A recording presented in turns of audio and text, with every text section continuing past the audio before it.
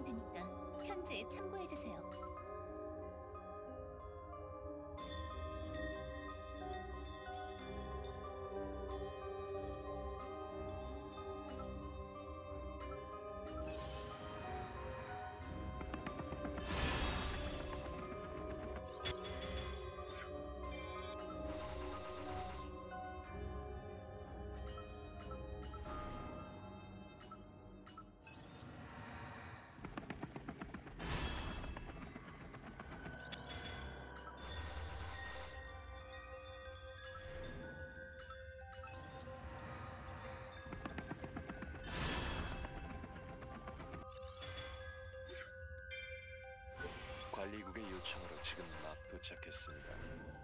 침식 채토 걸건이라면 언제든 하는